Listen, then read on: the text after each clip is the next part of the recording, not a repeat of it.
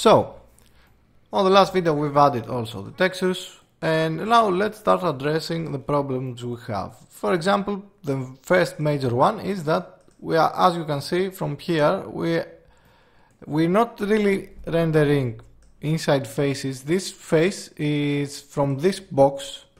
We select this. Okay, so we render each box Uh, as a solid. We don't want that. We want to cull any faces that we don't actually see. And yeah, so we use a lot less memory for that. Okay, especially if we have huge words. Now, close that. So how do we do this? First of all, we need a way to store data information for our entire world.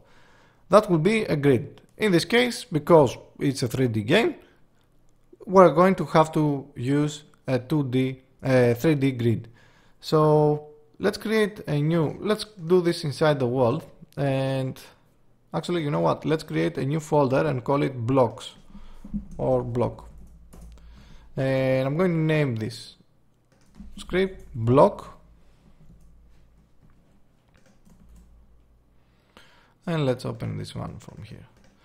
I don't want either start or update. I'm just going to add a namespace, close that, and I'm going to delete that. Then we need what sets the world is basically x. The address of the of the block inside the world will be this. Okay. Then we probably need for now it will simply be a flag so that will be is ground or not or is solid. Let's call this is solid. When we now create our world let's collapse all of this and let's create an array of blocks a 3D array of blocks that is and let's call this grid. On start then we can do this before we create uh, our mesh or actually I think it will be a little bit no okay let's create this over here inside the before we do the create world. Or better get in here. So here's the thing. We need to initialize our grid first. Okay. So that will be a new grid of blocks which we need to pass the values. We know our max x and we know our max z. Okay because we are doing this over here. But we are kind of missing the height. But that's not the truth. We have a height and the height is the maximum elevation you can have which is this one. So elevation this will be 15 uh, this will be elevation. The value we have over, over there Okay, so with, with each one of these, we are creating new positions on the grid, but we're not creating positions on, on the Y, which this helps us quite a lot because we are going to be, instead of adding, instead of doing a calculation of, let's say, uh, let's open up calculator. Okay, we have 16 multiplied by 16 multiplied by elevation in this case is going to be 15 we're going we are doing about 4000 uh, iterations of a for loop. Without the elevation calculations because we're not really we don't really need them we're going to do 16 by 16 which of course it's much much less calculations. Okay, so we have our positions, but the x and the z without the scale, yeah, we actually can use them because they are over here. So here's the thing, what we can do, we can do a new block in here, new block, and for that block, we have the x value which is going to be the x, and we have the z value, which is the z from above. The height of that block, however, is going to be calculated in here. Okay, onto our height. So, block dot y will be mathf dot round to integer height. So we have our block. Before we start creating any faces, we're going to do uh, we're going to add sign this onto our grid. So that will be grid x y uh, x z the y will be the same one as the one the y you have over there. And it's basically going to look something like this. Then let's let the block decide what's going to add onto our mesh data. So I'm going to add a void over here.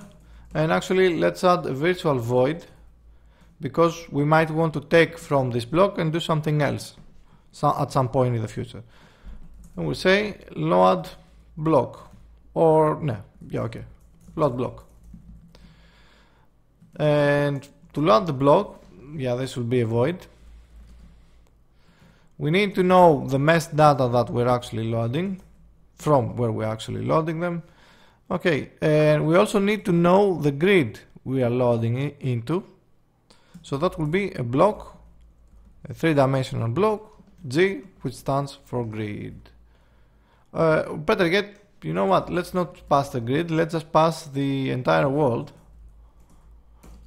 W, and inside that world, we're going to have a call which is going to tell us get block integer x, integer y, integer z. Then if x is lower than 0 or y is greater than or is lower than 0 actually lower than 0 on the y it's not really that much of a problem but let's encapsulate it into a world chunk and then we're, later we're going to create different chunks. Or z is lower than 0 okay then return null.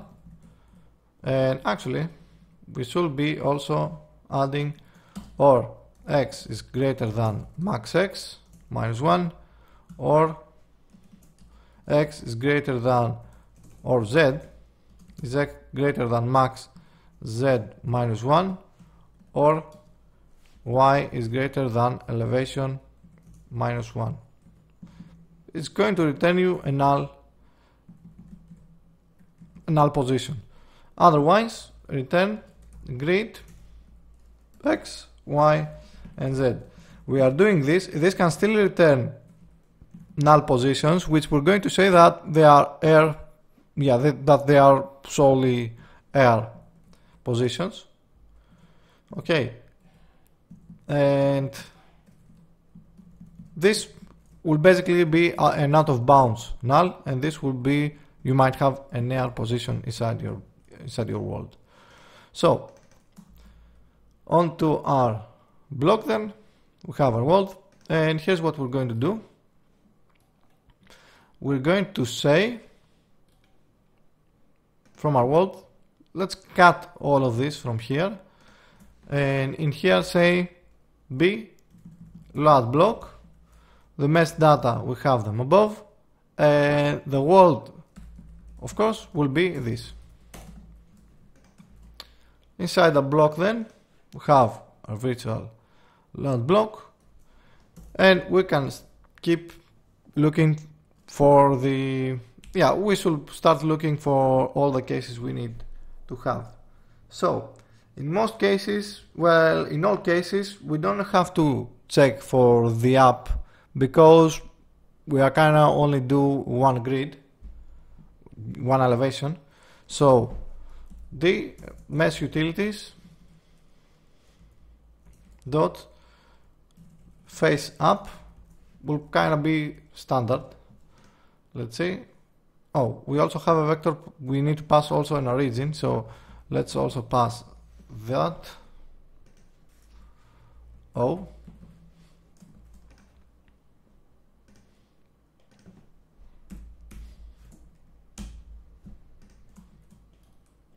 Um, yeah, the origin is the target position. Okay, so the face up will be the standard. Then we should start getting nodes. For example, I'm going to say that my block north my north block will be get block my own position x plus uh, x yeah if it's the north it will be y and z plus 1 that will be the north. And if n dot is solid well we need the opposite. If it's not solid then mesh utilities dot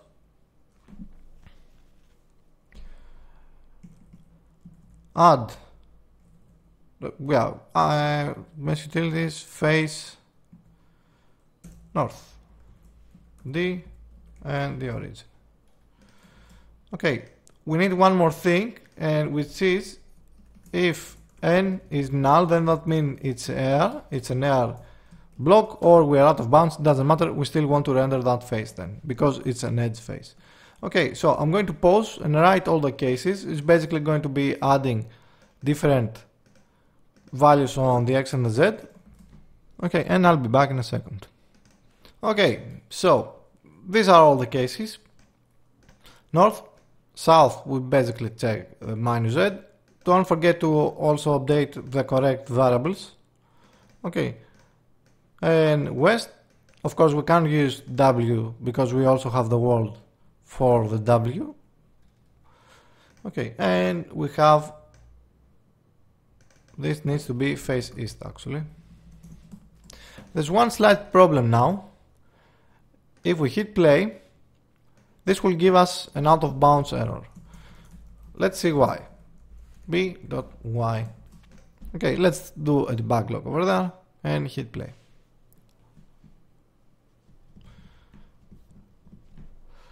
So you can see that the first y we get is actually minus 3.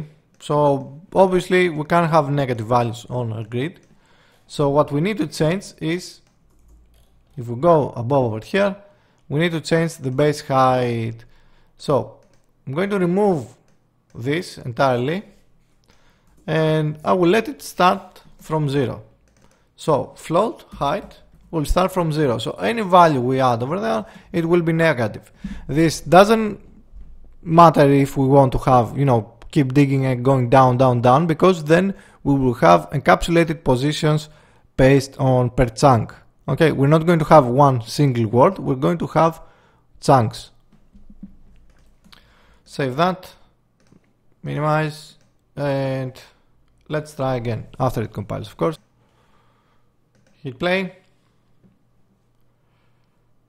Okay, same results, but you will see that we only, well, for the most part at least,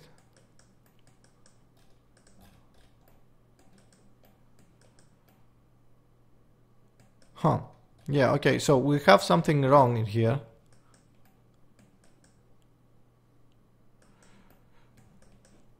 And what we forgot is that we not we don't really change the is block or not. So if this exists, so if we actually write on a block, then we are going to have to say that before we load the block, we're going to say b is solid to be actually true. Okay minimize that and now it will take into account any other blocks that exist in the Swider world. Yeah I guess. Yeah. Okay so you can see this straight row is actually a world elevation from here. Uh, one of our calculations is wrong, I believe, because I can see some faces that still get rendered. So you know what? Let's say let's flatten our world and see what's going to happen then. We don't have to go into the script to flatten our world. We can just change the world elevation to zero or one, I guess. Yeah, one.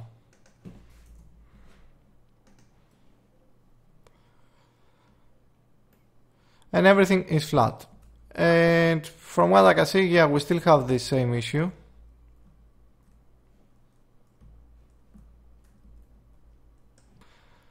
So let me dig a little bit further. So unfortunately, I, I yeah I wanted to avoid having to do two passes, but I think we don't have much of a choice. So here's what I'm going to do. I'm going to take my mesh data and remove them from here and keep them down here. Then I'm going to comment this line out. So this will be the pass that actually creates and positions our blocks. And after that, we're going to be concerned about creating our meshes and where a face will be or when it shouldn't be. One more thing, however, I want to go onto my block and add a position for